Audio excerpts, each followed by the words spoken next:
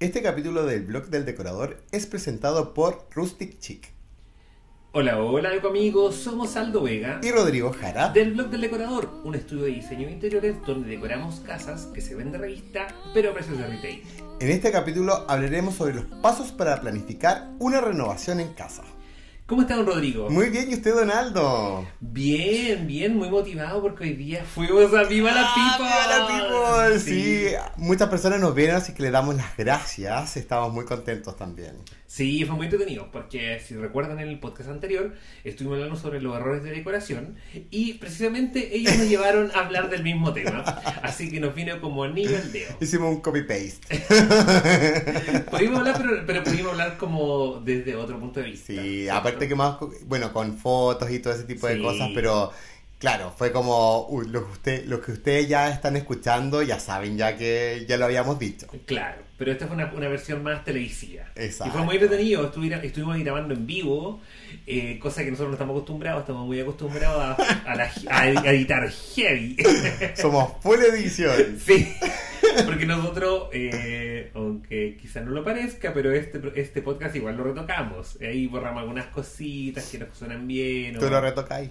Sí, yo me encargo ahí de que, de que suene, suene bien. Para que suene bien, para que ustedes también nos escuchen Exacto. bien. Exacto. Y bueno, y ahora estamos con más tecnología. Sí. Ahora tenemos dos micrófonos. Muy bien, vamos por los cuatro.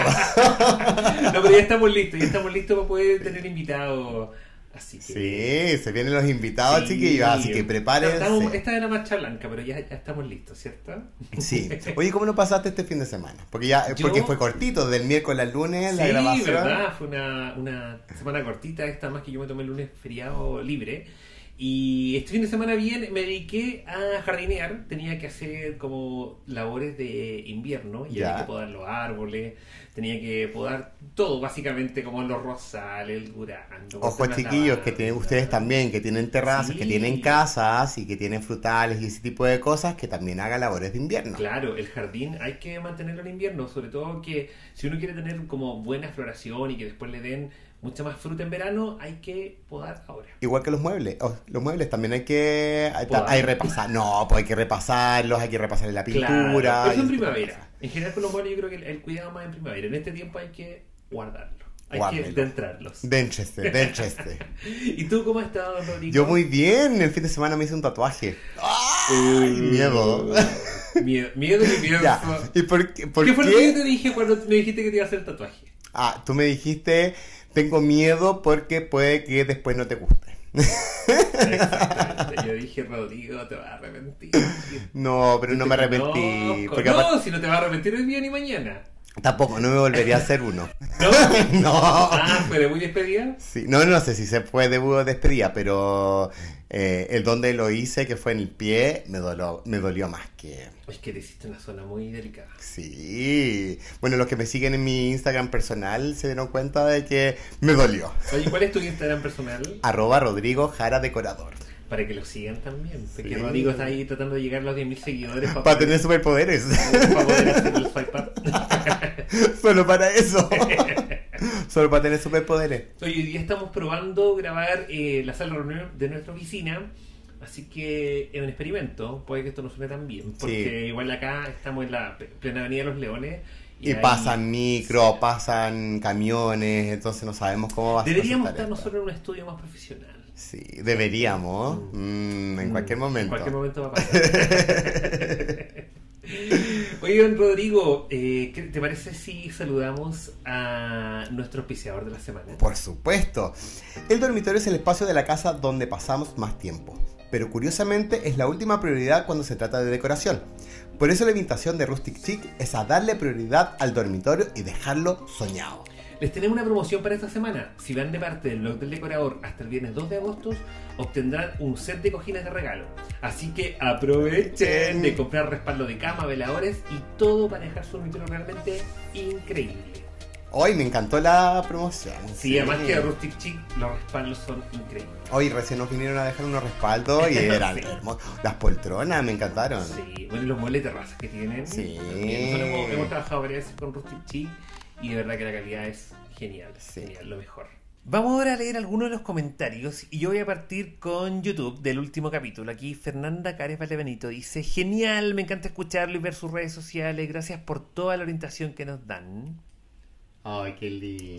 Sí. Mira, yo estoy leyendo de Apple Podcast. Apple Podcast que eh, Vale Manicure me dice, hola, doy Rodrigo, me encantó este podcast, lo soñé y al fin se hizo reali- realidad. Pero hoy escuchando este capítulo me di cuenta de que toda mi casa es un amiga no. y se muere la risa. Gracias por hacer este podcast. Espero muchos capítulos más para seguir aprendiendo con ustedes. Un abrazo desde Buin. Oh, Oh. Saludos a Win. Saludos. Aquí tengo un comentario de Carolina E en YouTube que dice, adorables, yo sueño con algún día decorar mi casa, pero cada vez se hacen más inalcanzables, cada vez son más exitosos y caros, jajaja. Como los gemelos de Home and Health. Los amo secos. Hoy no somos tan caros, la No. gente piensa eso, no, nosotros nos acomodamos todos los presupuestos. Sí. Mira, HBB, B corta, HB larga, B corta 120. Dice, son los más, siempre atenta a todas sus publicaciones de cualquier tipo. Ay, qué linda.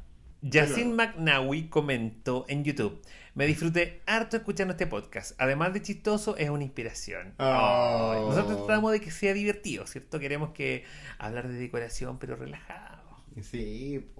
Mira, Malay86 02 dice, qué agrado escucharlos, son demasiado secos y manda corazones, además de súper simpáticos. Mm. Linda, gracias. Ah, Hoy es que en verdad me encanta porque es como mucho amor. Sí, me encanta. Qué rico como ver cómo también ustedes participan. Y por favor, si nos, si nos estén suscritos en Apple Podcast, déjenos cinco estrellitas.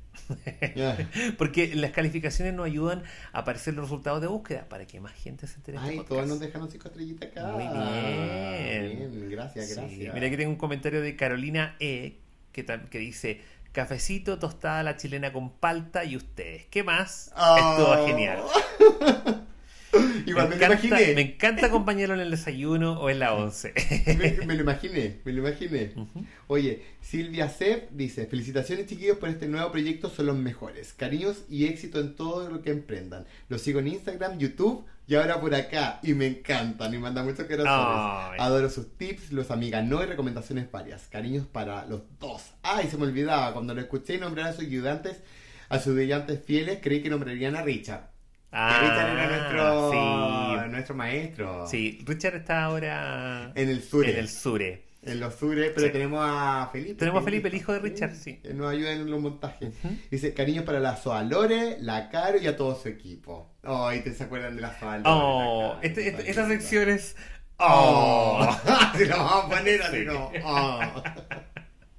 Vamos ahora, Rodrigo, a ver el tema de esta semana y en esta ocasión vamos a hablar de cómo planificar una renovación en casa. Ajá. Cuando hicimos el capítulo anterior, uno de los principales errores era la falta de planificación. Y por eso, por eso mismo quisimos dedicar este capítulo a hablar sobre la planificación y como cuáles son los pasos a seguir para poder renovar la casa y no morir al intento. Exacto, si la idea es que podamos tener eh, ese espacio renovado, que podamos definir cuál es el espacio que queremos renovar y luego de eso seguir estos pasos. No es llegar y hacer toda la casa, no. No, no, no. Hagámoslo por espacio. Sí.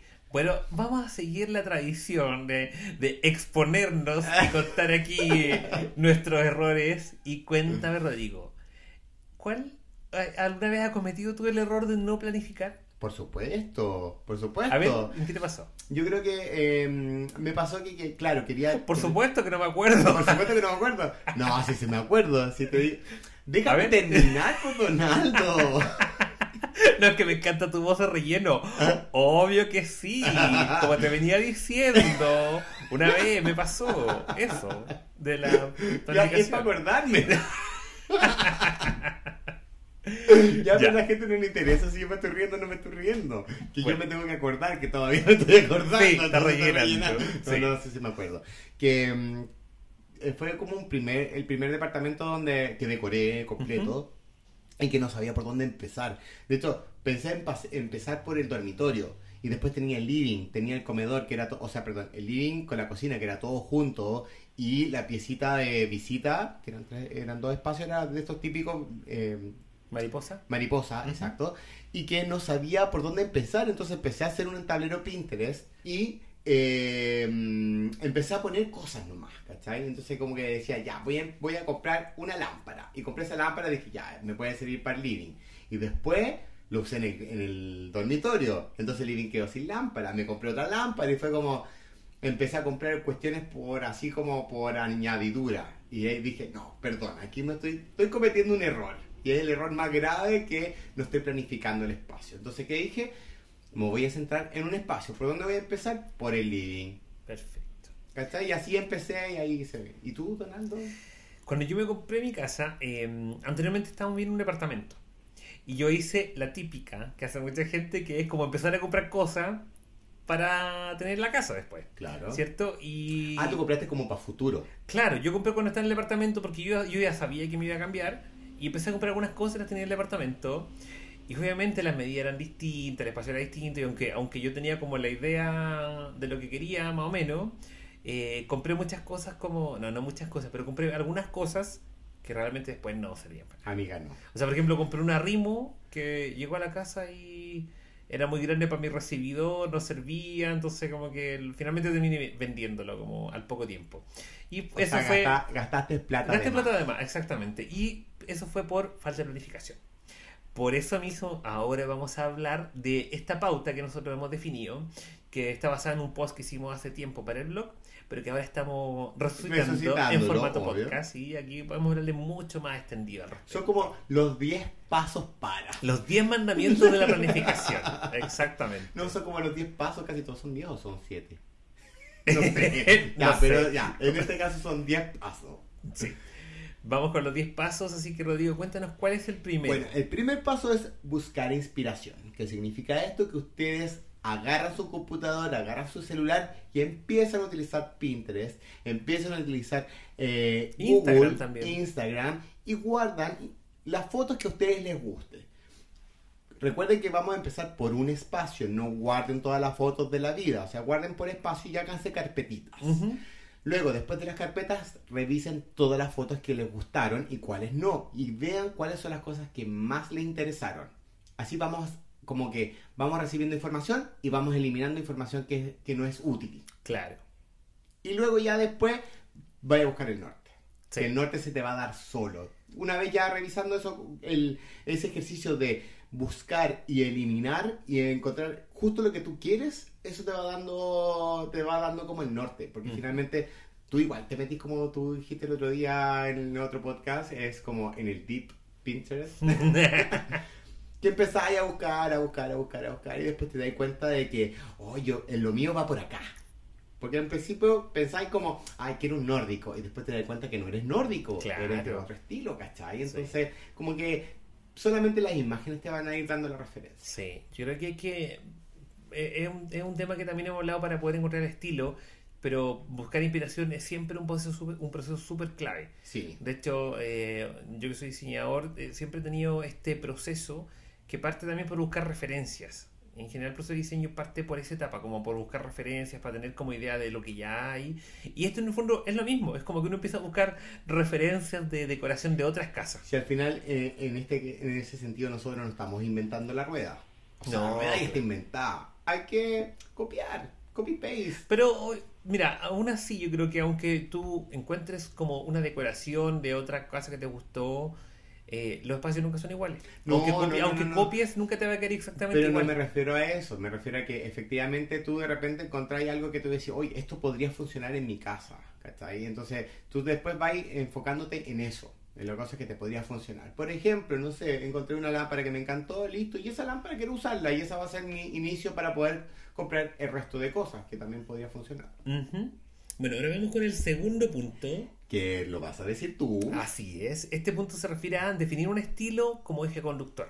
¿Ya? También cuando hablamos de, en el capítulo sobre cómo encontrar un estilo, eh, hablamos de por qué era tan importante definir uno. Y es porque te ayuda a darle un hilo conductor, ¿cierto? Eh, como que de, de verdad eh, ayuda a hacer más simples las cosas cuando uno tiene un estilo bien definido. Porque uno sabe para dónde va la micro, ¿cierto? Te ayuda a responder varias preguntas que a veces uno dice, oh, no sé qué hago con esto. Es como, eh, así que hazle caso a tu estilo. Claro. Por ejemplo, si estás ocupando un estilo industrial, eh, estáis ocupando metal, metal, madera y...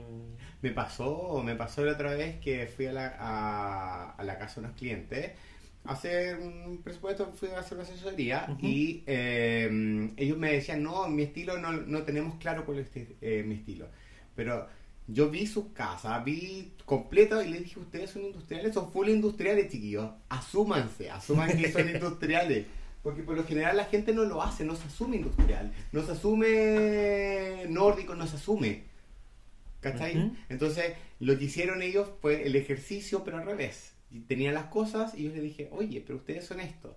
Que es más o menos lo mismo que nosotros queremos que ustedes repliquen. Antes de comprar las cosas, defínanse qué es lo que les gusta y saquen como un patrón.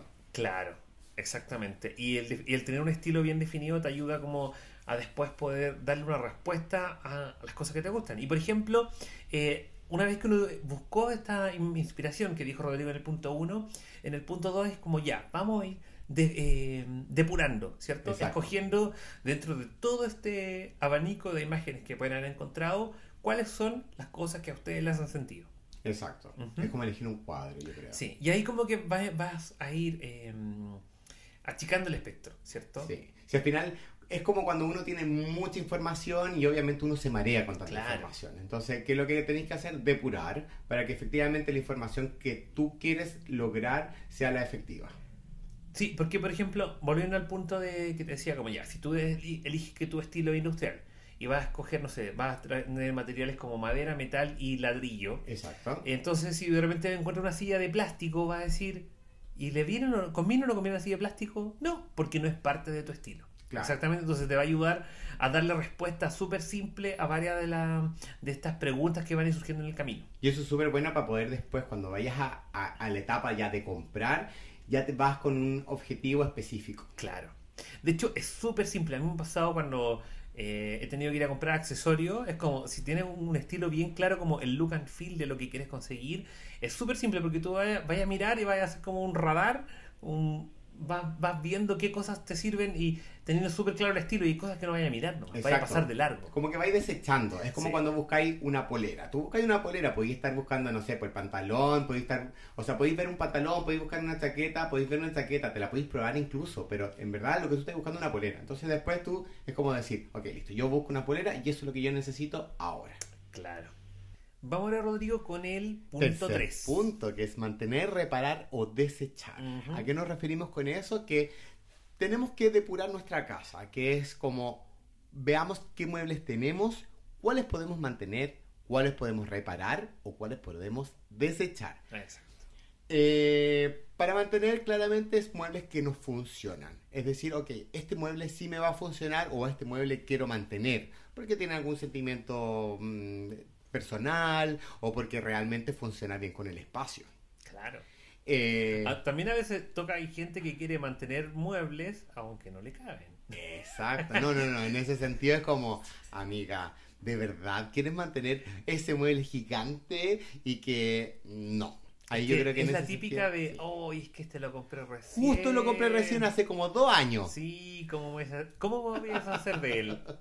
Ese justo lo compré recién hace como dos años. Y tiene Claro. como. Y, y tú cachai que tú, tú decís, no, pues esta cuestión no tiene como dos años, o sea, ya está tapelado. O sea. si al Claro. final uno no está haciendo por. O sea, siento que estas cosas no lo estás haciendo porque quieres economizar, sino Sí. porque tienes ganas de tener tu Pero yo creo que este ejercicio es un poco eh, aplicar, hay que aplicar el método maricón. Claro, o sea, eh, es decir, ¿de verdad lo necesito? Sí. ¿De verdad me funciona? Claro, y tratar de un poco de tomar distancia, pretender que no es la casa de uno, pretender que fuera otra casa, mirar las cosas y decir, ¿queda realmente bien? Eh, Es ¿Es objetivo. lo, que, ¿Es lo que mi casa necesita o debería tener otra cosa? Es ser objetivo. Creo que pasa con los sillones seccionales gigantes que están puestos en los living en un espacio que tú decís, ¿de verdad ocupo esa esquina?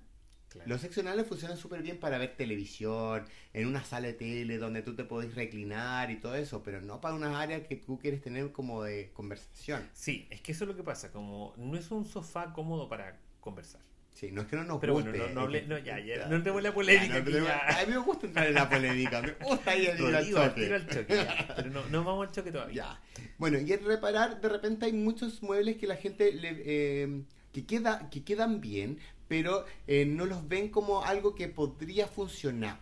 O sea, que O no... sea, claro, yo creo que es, es ver cómo podría funcionar. Por ejemplo, pintándolo. Exacto. Por lo general siempre es pintándolo. Por lo general siempre es pintándolo, retapizándolo o las dos cosas. Sí, y reta- re- eh, con retapizándolo eh, hay un tema que es súper eh, puntual.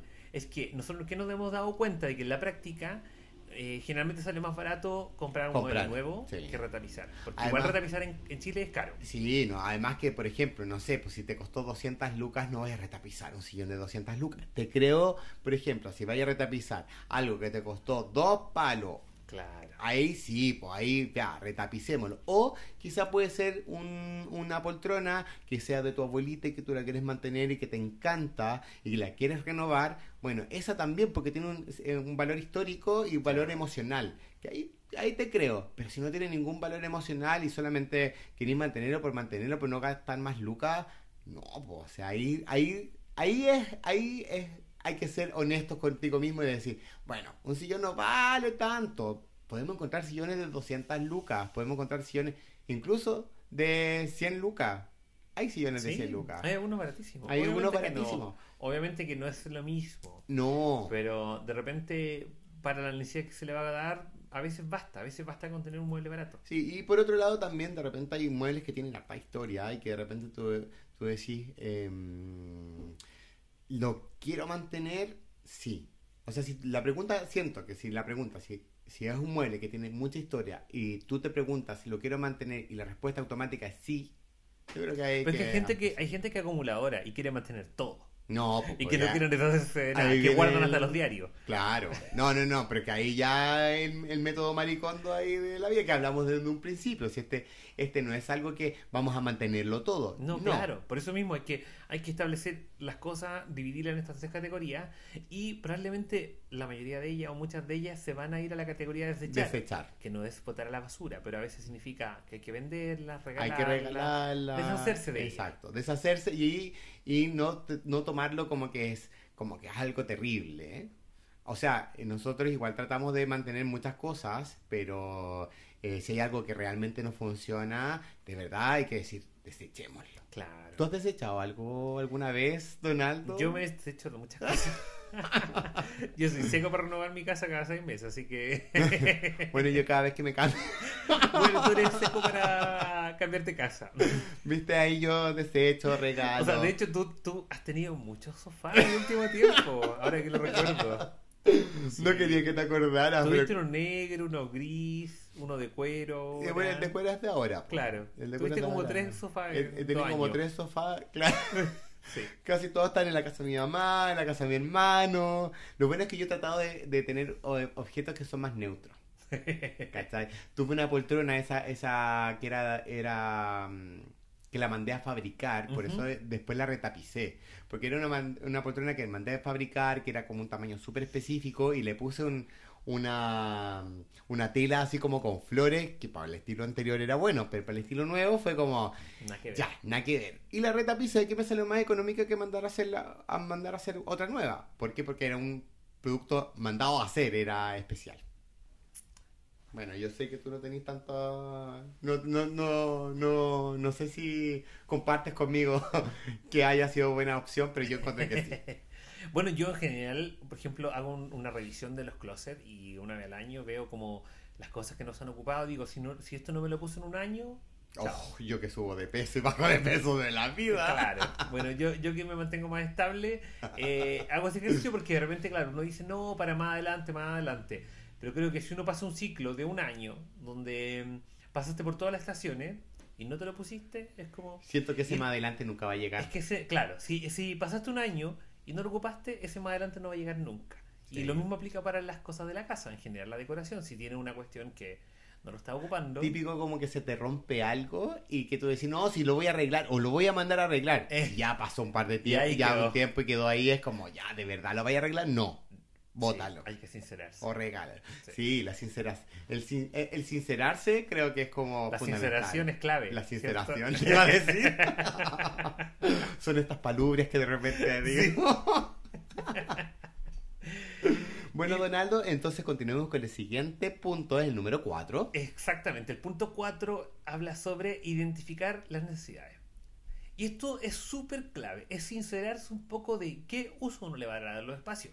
Porque, eh, claro, cuando uno pretende que un espacio la haga toda, normalmente no, No. hace nada, no hace ninguna. ¿Cierto? Y por ejemplo, no sé, típico caso, ¿qué pasa? Que cuando tiene un comedor, un comedor de diario, solamente usa el comedor de diario. Exacto. o sea, que levante la mano el que tiene comedor de diario y come todos los días en su comedor. No, yo creo que yo creo que no todos. O sea, no, en verdad, por ejemplo, me pasa en la casa de mis papás. La casa de mis papás tiene un comedor de diario que está en la cocina Ah, y tienen el comedor gigante. ¿Ustedes comen en el comedor? Eh, no. ¿Nunca? A veces cuando vamos, cuando va más, más familia. Claro. Pero por ejemplo, cuando voy yo, es para visita, pero cuando voy yo, que yo, Claro. yo soy el hijo, Sí. como que, ah, no, come ahí nomás. Pero yo, claro, yo creo que hay esa, eh, cuatro o cinco personas comen en ese comedor de diario. Sí, no, de, sí, cinco personas. Cinco Sí. personas apretados, comemos Pero cinco personas. cinco, claro. Pero claro, estamos apretados, pero no importa, pero, Pero sí. igual, es que claro, eso pasa. ¿Y por qué pasa eso? Porque cuando uno tiene eh, espa- dos espacios que hacen la misma función, uno termina ocupando el que le queda más cómodo.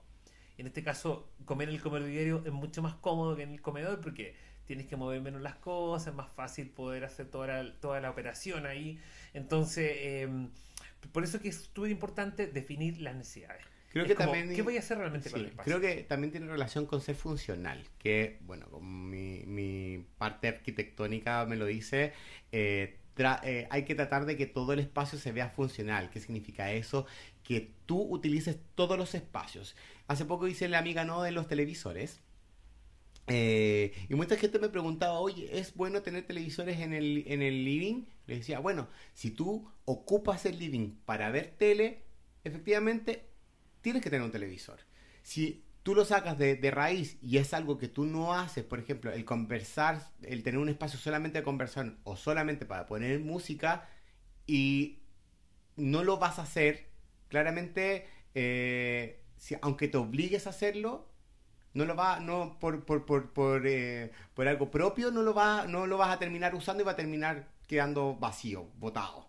Entonces, es lo mismo con los muebles, es lo mismo con todos los, con todas las cosas que tú eh, necesitas para que lo utilices. Claro, o por ejemplo, eh, saber realmente, no sé, si uno tiene un living, saber cuánta gente quiero sentar, ¿ya? Porque si estás considerando, no sé, quieres sentar a 12 personas cuando una vez al año se junta toda tu familia, de verdad que el espacio está perdido. Claro. ¿cierto? Entonces es mejor pensar como en el uso que uno le va a dar eh, la mayor cantidad del tiempo.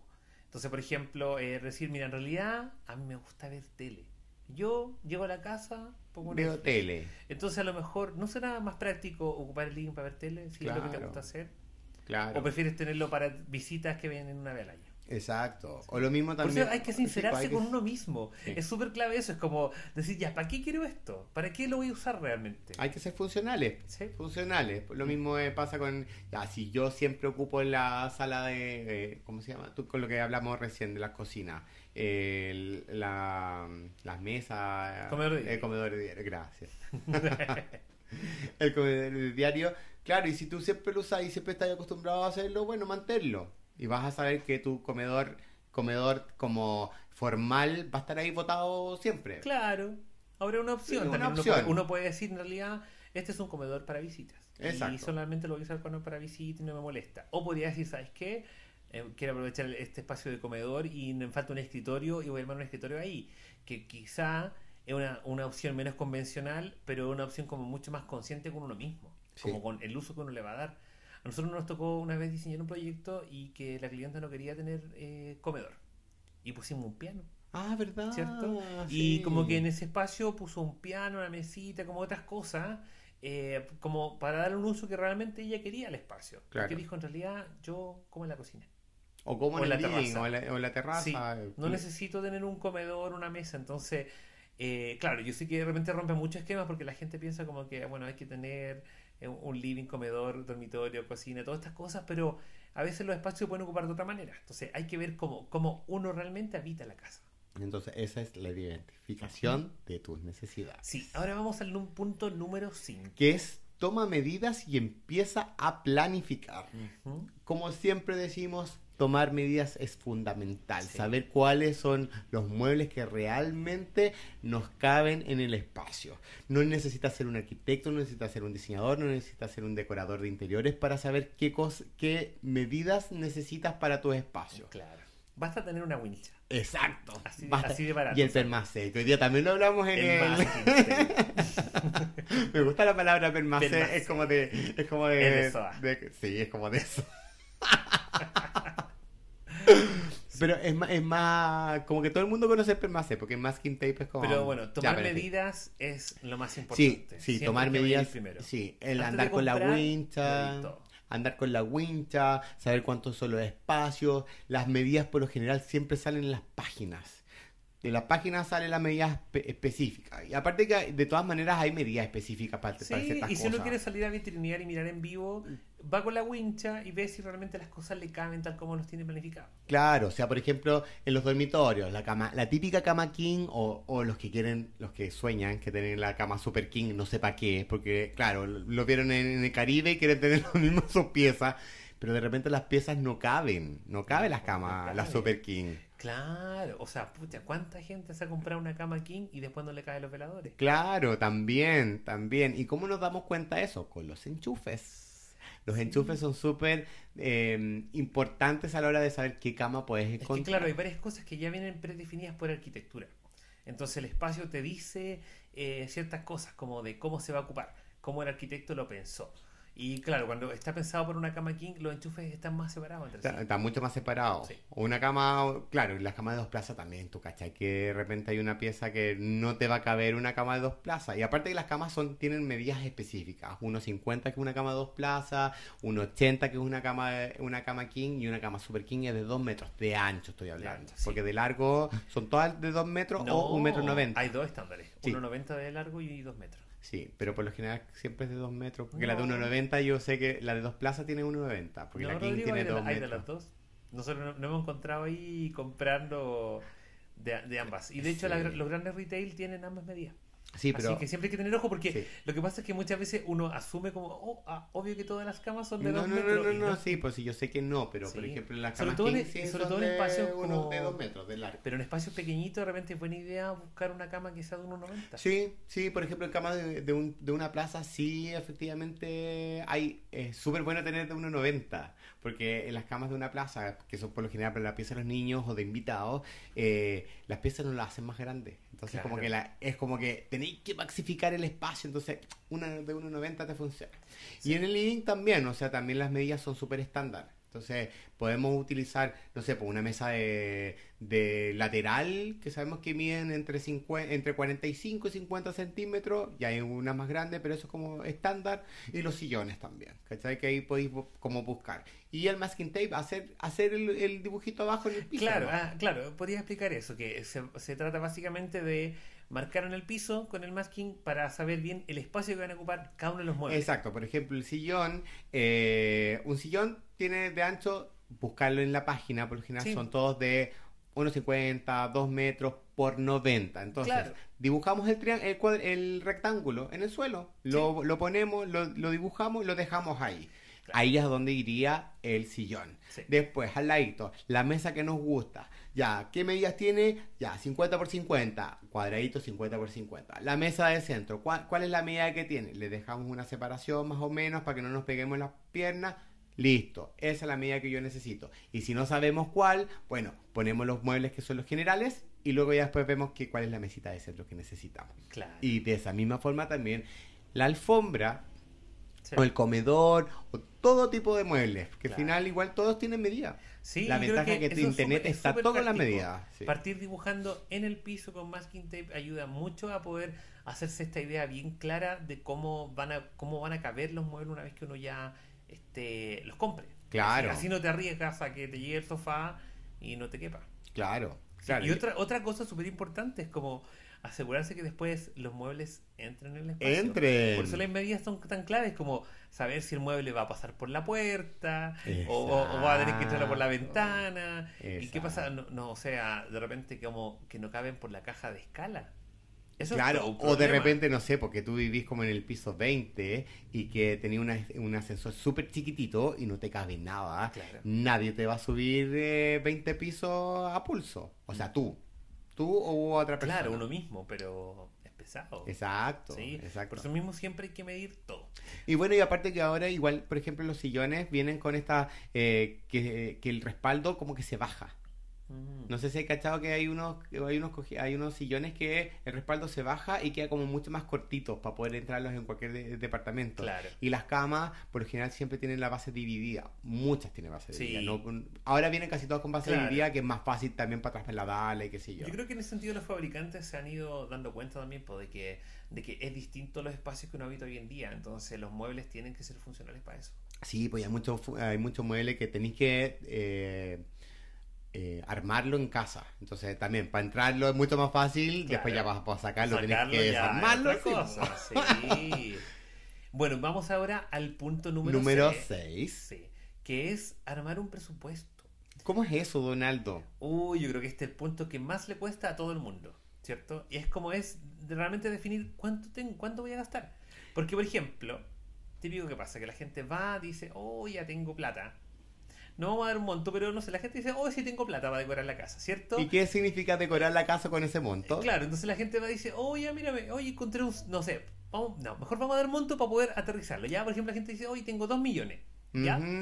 Y tengo para decorar mi living comedor, ¿ya? Entonces van al mall, encuentran un sofá de un millón y dicen, ah, pero sí me alcanza, po.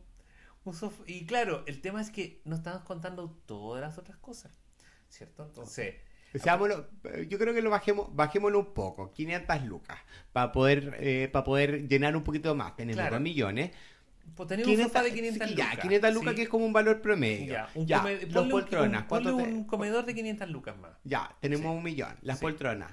Dos poltronas de 200 lucas. O sea, cada una 100 lucas, ya tenéis Sí. 200 lucas. Ya, tenemos un millón dos. Claro. Nos quedan 800 lucas. Sí, la mesa de centro, Ya. los cuadros, 100 lu- las cortinas, el televisor. Las lámparas, Las el accesorios. Todo Los eso suma. cojines, Claro, entonces, la ¿qué pasa? Cuando uno hace un presupuesto, uno se da realmente cuenta de cuánto es el dinero con el que cuenta y cuánto es lo máximo que puede gastar por ítem. ¿Ya? Por eso digo, entonces, teniendo bien claro el presupuesto, a lo mejor no te vas a comprar el sofá de un millón de pesos de 500 lucas, a lo mejor te vas a comprar un sofá, no sé, de 300 o de 200, es lo que te alcanza. Por eso es que hay que ser súper racional desde un principio y tener bien claro el presupuesto. Entonces, saber ya, máximo puedo gastarme esto, porque si no me voy a quedar corto en lo otro. Es que siento que las personas piensan que decorar es solamente comprar esos muebles grandes. ¿No? Y no, No, no, decorar no. para que te quede como por ejemplo lo que nosotros hacemos, necesitáis más presupuesto. Claro, hay que pensar en todos los detalles. Eh, exacto, es como pensar en el- hasta, hasta en el eh, en el en el cenicero que vaya a poner, porque Claro. ceniceros igual son, imagínate, son tres lucas, Sí. en tres en tres cacharritos podéis tener fácil 20 lucas, es como ir al supermercado que tú compras tres cuestiones y tú decís, ah ya, si compré tres cosas y me salió 25 lucas y decís, "Ah, pero ¿cómo si compré tres cositas nomás? Claro. Te lleváis esa sorpresa. Es que todo suma. Sí, pues, todo va sumando. Aunque sea 2.990, que en verdad no son dos lucas, son tres. Claro, pero yo creo que es, yo, es que lo he visto mucho, que la gente cae en de repente dice, ya me compro esto, nomás está rico, me lo compro, me lo compro. Y después como que, chuta, no te, qued- no te quedó plata para comprarte lo demás, entonces a lo mejor por darte un gusto de comprarte un mueble muy caro, te quedaste sin comedor, o sin cuadro, o sin iluminación, entonces terminé quedando con la casa parchada por mucho tiempo, porque claro, la gente a lo mejor no es que diga, hoy en día tengo, no sé, dos millones para hacer esto, sino Claro. como que dice, ah, hoy día me podría comprar esto otro y mañana, mañana no, no sé cuándo me podría comprar lo otro. Pero por eso yo creo que teniendo bien claro el presupuesto, uno va a saber me- mejor eh, optimizar los recursos y saber bien en dónde pone la plata. Claro, exacto. Vamos a ver el punto Con el siete. punto 7 que es diseña una habitación a la vez y establece plazos realistas. Ujú. Bueno, ya lo, lo habíamos adelantado el tema de diseñar un espacio a la vez. ¿Por qué? Porque es súper importante que nosotros nos demos cuenta que no podemos decorar la casa completa de una. Porque no somos profe... O sea, nosotros sí, pero una persona que no está escuchando posiblemente no sea un profesional. Entonces, por lo tanto, te va a costar más. Claro, es Y- mucho más simple. Es muy, hay que tratar de ser mucho Ir más simple. habitación. Exacto, es Sí. mucho, es mucho más simple ir habitación por habitación. Sí. Y decir, ok, listo, esta vez voy a dedicarme a esto. Bueno, de hecho yo creo que incluso nosotros también hemos ido en nuestras casas habitación Ah, sí, por habitación. sí. Porque obviamente es distinto cuando uno está eh, teniendo otras variables en cuenta, cuando uno lo hace uno mismo. Porque, por ejemplo, no sé, eh, yo igual tengo que tomar en cuenta la opinión de mi señora, eh, mi presupuesto, son varios otros factores que inciden. Entonces, eh, de todas maneras, siempre más cómodo hacerlo habitación por habitación. Exacto. ¿Cuánto es lo que te has, de- te has demorado más para eh, haciendo, por ejemplo, tu comedor? ¿Cuánto te demoraste? O no sé, no, re- no recuerdo muy bien, porque igual en general los proyectos yo los he sacado rápido, una vez que digo ya, esto va. Ya, pero ¿cuánto es el promedio? Para que más o menos sepamos más o- cuáles son los plazos realistas. ¿Por qué te lo comento? Porque justo eh, el fin de semana estuve en baby shower. Ay, que voy a tener una hijada, así tan feliz. eh, ese punto aparte, perdón. Eh, y estu- estuve conversando con una chica que me comentaba el, eh, que efectivamente ella se demoró haciendo su living comedor tres meses. Pero ella es como obsesiva, sí, full obsessed. Aún así no lo ha terminado porque todavía no ha colgado ningún cuadro. Ah, no está listo, claro. Exacto. Pero aún así son tres meses, tres meses que efectivamente ella fue a cada lugar, compró cada cosa, porque más encima quiso tener como eh, un estilo como muy vintage, entonces tuvo que ir a buscar objeto por objeto, lugar por lugar, se pasó, se paseó por el Bio Bio, se paseó por el Plaza, eh, Plaza Los Reyes, se paseó por todas estas partes donde venden antigüedades para encontrar lo que ella quería, pero efectivamente se demoró tres meses, que encuentro que es poco para una persona que no se dedica a esto y que tiene solamente los fines de semana. Y así también hay personas que se demoran un poco más. En rigor yo creo que uno se demora como eso, como tres meses, si le dedicáis cariño. Yo creo que es súper relativo, depende de cada persona. Pero lo importante es como definir un plazo real, ¿cierto? Es como decir, ¿cuánto tiempo le voy a dedicar yo a esto? Porque realmente en la práctica la dedicar solo el fin de semana probablemente Exacto. no va a tener toda la semana para andar vitrineando. Algunas sí, algunas personas sí, pero no, pero no es la regla. Entonces, por eso digo, como definir metas bien, bien aterrizadas. Mira, Como- yo en mi living comedor me demoré dos meses. Siendo que yo me dedico a esto, me demoré dos meses. ¿Por qué? Porque me tenía que- dije, ya, ok, listo, ahora voy a pintar. Después voy a comprar este sillón. Después voy a comprar estos objetos. Ya tenía algunos objetos, entonces finalmente igual fue como hacerle un refresh. Pero aún así me demoré dos meses. Claro. Que encuentro que igual es harto para una persona que... O sea, yo veo, podría ver todos los días algún ob- objeto. Pero aún así, Pero, hay que claro, ponerse eh, plazo realista. O sea, saber que efectivamente no te va a demorar una semana. No, exactamente. Exactamente, por eso, por eso nos referimos como que a que sea aterrizado a realmente al tiempo con el cual uno cuenta, porque a pesar de que tú dices, yo me dedico a esto, pero tú no, no estás todo el día vitrineando cosas para tu casa. Tú tampoco. No, pues no, no podemos. Entonces... eh, Por eso te preguntaba, ¿cuánto claro. te demoraste tú más o menos? Pucha, es que yo creo que yo no soy una... Una referencia. Una referencia, porque en general creo que, no sé, yo, yo construí una casa en tres meses. Yo construí una casa y la decoré en tres meses. Entonces, ah, bueno, es que sí. Claro, no es, no es una referencia, pero... Ah, pero yo sí, que- entonces soy una referencia. Pero yo creo, claro que sí, igual puede ser poco. A lo mejor hay gente que se demora un año. ¿Sí? Sí. Entonces, claro, si a lo mejor tú dices, no, es que yo quiero ir, sentarme, quiero poner mi poto en todos los sofás. No, y vaya pues, a probar claro, 100 ahí sofás. te demoráis más. Obviamente, pues te demorar un año. Pero ojo que estábamos también, eh, lo primero que tuvimos que hacer es eh, planificar el tema de lo que vamos a hacer después. Entonces, la, eh, la reducción de las posibilidades es mayor. O sea, vamos, no nos vamos a sentar en 100 sillones, nos vamos a sentar en 50, o quizá nos vamos a sentar en 30. ¿cachai? Claro. Que es con toda la planificación que hablamos anteriormente. Sí, pero por eso mismo hay que establecer plazo. ¿ya? Y yo creo que es súper clave para decir, mira, esto yo lo voy a sacar, no sé, en tres meses, pero que sean tres meses. O sea, hagan el ejercicio de verdad, decir, ¿sabéis que yo esto a fin, no sé, a fines de septiembre tiene que estar listo? Eso ¿ya? significa que no van a tener fines de semana. No, exacto. Sí, O sea, es, un es- tra- es un trabajo. Es un trabajo. Sí, claro. esto no es. A veces la gente cree que es llegar y comprar cosas lindas, pero no. Cuando No. alguien pasa realmente por este proceso de renovar, eh, eh, es sudor y lágrima. Y, y peleas también. Yo he visto muchas parejas ahí agarrándose del moño porque no es fácil. No es No fácil. es fácil ponerse de acuerdo. Exacto. Bueno, Donaldo, continuemos con- entonces con el punto 8. Eh, que se refiere a comprar primero los muebles grandes. ¿Y por qué? Porque eh, cuando están decorando no sacan nada a compartir, cómpranos una lamparita o un accesorio si no saben dónde van a ponerlo o qué Exacto. lugar va a tener. Entonces por eso siempre recomendamos partir por lo grande. Por ejemplo, partir por los sofás, las mesas, como las piezas eh, esenciales que arman un espacio. Eh, de esa manera, cuando, cuando ya tengan estas cosas en su lugar, van a poder ir complementando con las demás cosas y cometer menos errores, ¿cierto? Porque si, por ejemplo, eh, no sé, meten un, un carrito de bar, por darte un ejemplo, una, de algo que es más o menos chico, ¿ya? Y luego por culpa del carrito de bar no les cabe el sofá, eh, es, es mejor partir por el eh, por, el, por el mueble grande. Que por el sofá. O por el buffet también, que de Claro, repente igual exacto, sí son los muebles grandes. Sí, como que son los muebles que ocupan la mayor cantidad de metros cuadrados en el espacio. Y luego después ya metiendo las cositas más chicas. Siempre ir como de lo más grande a lo más chico. Hace mucho más simple el proceso de, de decorar la casa. Sí, es, ma- eh, es mejor no co- eh, comprar el sofá que comprarte los puffs primero. Exactamente. los puffs son mucho más adelante. No, y aparte que los puffs, claro, en, en en comparación o en proporción también son mucho más económicos y también son mucho más pequeños. Entonces, claro, podéis dejarlo como más adelante. Quizá si tú compras primero el sillón, te das cuenta que no te que te caben, en vez de dos puffs, te caben dos poltronas. O quizá te cabe una banqueta. ¿Cachai? Entonces ya sabéis más o menos las proporciones. Claro. Bueno, ahora vamos al número- punto número 9, el cual me gustaría explicarlo a mí. Que es, se refiere a escoge el color de pintura. Sí. ¿Por qué vas a explicarlo tú, Donaldo? Se supone que soy yo. Porque, mira, es que este es un tema Sí. que a mucha gente le sorprende de que esto sea una de las últimas cosas que hay que hacer. Porque mucha gente parte por el error de primero pintar. Y después dicen, es como, ay, es que tengo en mi casa, no sé, azul. ¿Qué color Bueno, como sofá? Me gustaría de, de todas maneras explicar a, a los clientes, o sea, perdón, a los auditores. Perdón que tengo la, como la- la- los clientes Tú así estabas como- muy acostumbrado a los clientes. Sí.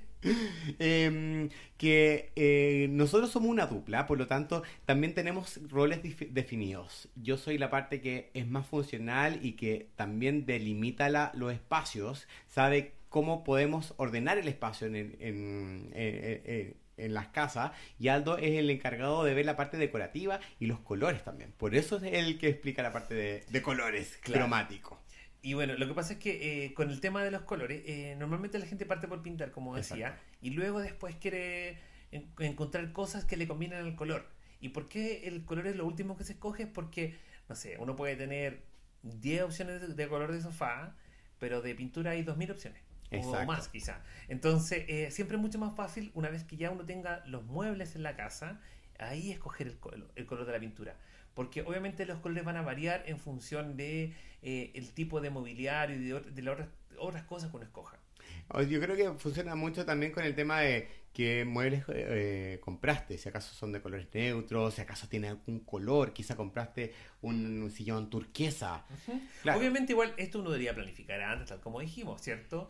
Pero el tema es que, por ejemplo, si uno quiere, uno dice, ya, yo voy a pintar turquesa, por darte un ejemplo. Ujú. Como tú dices, ¿qué turquesa?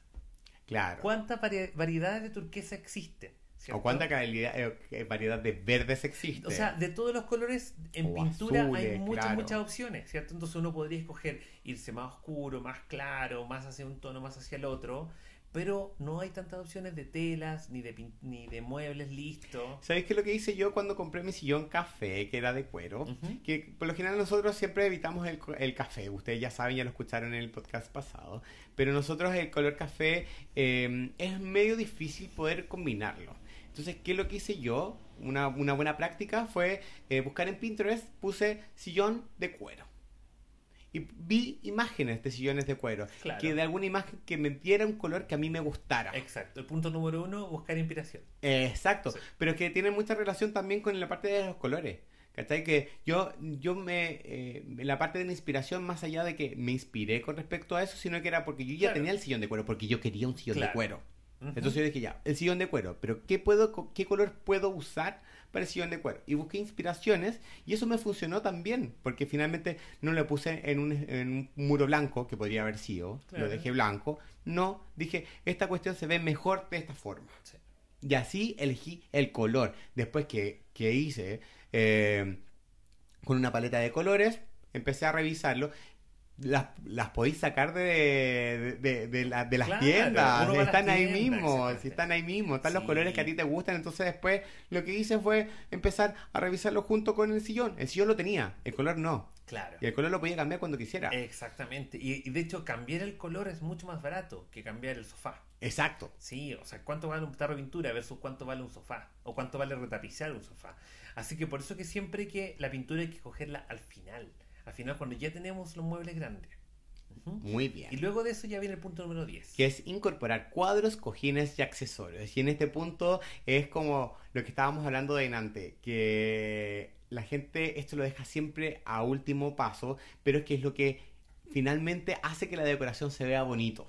¿Por qué? Porque los muros necesitan estar eh, adornados, alajados. ¿Con qué? Con cuadros, con repisas, con accesorios. No podemos dejar solamente la parte de abajo, tenemos que subir la mirada, tenemos que eh, decorar los muros, no podemos dejarlos vacíos, porque Claro. finalmente va a ser como que aquí falta algo. Además que esto da como el toque final de color. Exactamente, como que ahí vamos ya un poco eh, perfilando más en detalle, ¿cierto? Cómo, cómo vamos dándole más personalidad al espacio. Entonces siempre eh, lo- eh, este tipo de elementos nos ayuda como a, a ya darle la, Como el, el- el toque. la guinda la guinda torta. Es lo que tú decís como, eh, esto es mío. Porque, por ejemplo, podéis tener toda una base muy neutra, todo se puede ver muy igual, pero que, que incluso nosotros lo hemos mostrado en el blog, de repente como que mostramos, eh, ah, así se ve, pero después cuando tú le agregáis los accesorios, po- pones el, los, cuad- eh, los cuadros, pones los cojines, eso es lo que te da lo diferente, que se ve diferente.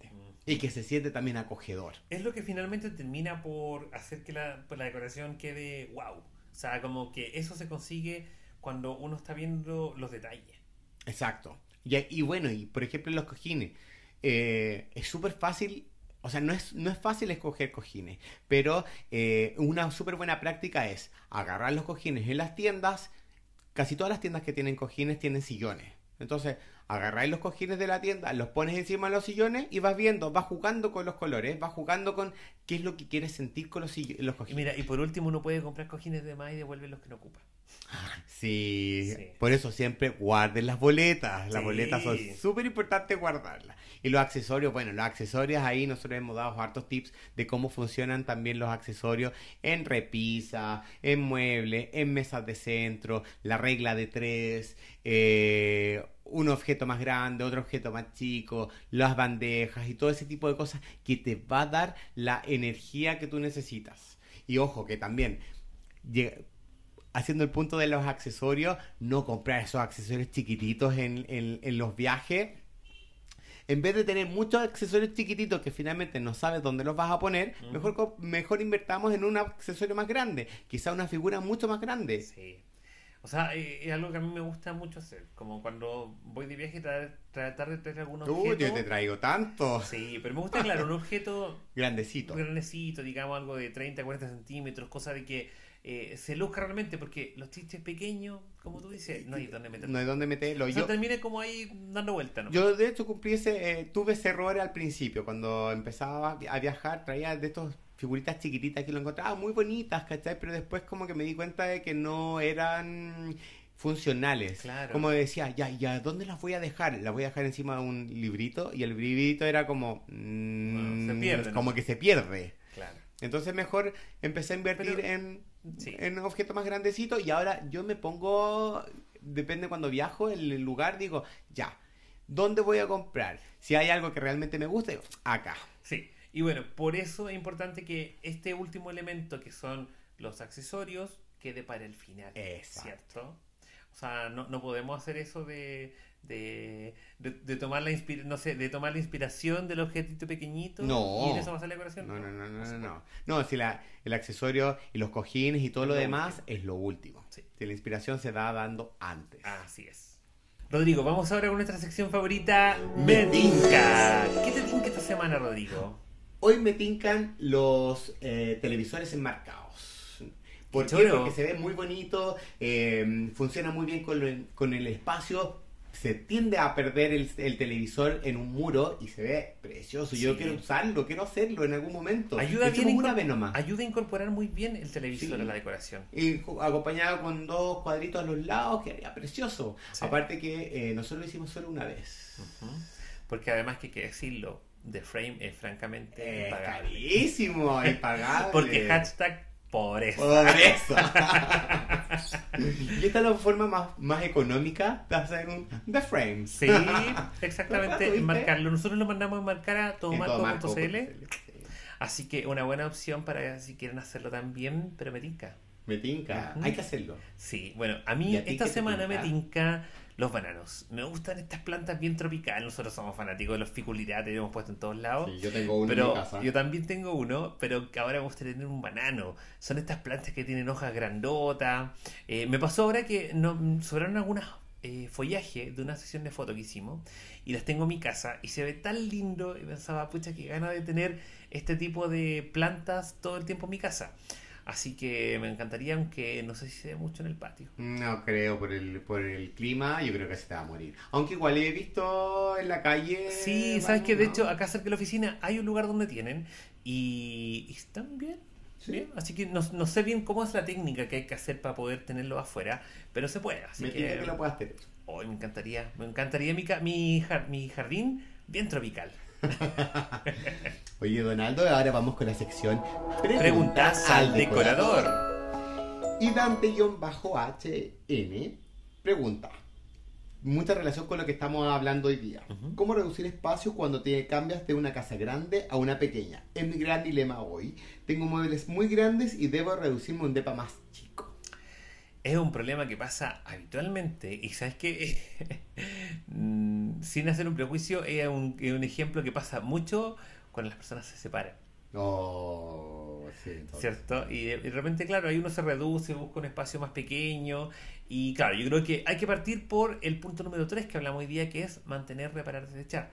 Revi- revisar realmente de esas cosas qué es lo que vale la pena mantener porque te caben en otro espacio y qué cosas no. A veces hay cosas que hay que, hay que dejar ir nomás porque realmente van a quedar como apretadas en el espacio nuevo. Incluso de repente siento que se ven como medias forzadas cuando tú lleváis de... eh, Incluso cuando tú vas de un departamento más chico a una más grande o una casa más chica a una más grande y quieres mantener un objeto que realmente no se ve bien, es como forzar Sí. algo que realmente no te va a No funcionar. funciona, claro. Entonces hay que, hay que saber decir No. no. Hay que saber decir thank you next. Thank you. Exactamente. Sí, sí. así Oye, Donaldo, así que hoy llegamos al, ahora llegamos al cierre de No. este capítulo. No, pues. Ah, perdón. Ahora, ahora vamos con la sección favorita de la People. Amiga, no. Y hoy le diré no a las blondas. ¿Qué son las blondas para blondas- nuestros amigos que nos leen del extranjero? Que nos Que nos escuchen del extranjero. Ay, nosotros seguimos con el Sí. de la lectura. Sí. Eh, las blondas son esas como encajes que le ponen a los textiles. Mm. Si se acuerdan de la amiga no que hice hace un tiempo atrás de los baños, eso lo, lo- Baños de primera comunión. primera comunión, eso tenían blondas. Sí. Pero es que las blondas están en todo, En están en la sábana, están en la, en la, cubreca- en la parte de abajo de la, de la en todo, en faldón todo. de En faldón cama. de cama, Sí. en las, en, la- en la mesa, en, lo- en los manteles también le ponen blonda, o sea, ya está bien, se usó harto de los 80, eran los 80. Sí, pero hoy en Pero día, día ya no, ya amiga, fue. no, ya la blonda como que ya fue. Eh, don Rodrigo, ¿qué opinas de lo- estos pañitos de crochet que se ponen arriba de los muebles? Tengo un conflicto. Tengo un conflicto sentimental con respecto a ¿Por esos, esos pañitos. Oh, yo, di- yo diría, amiga, no.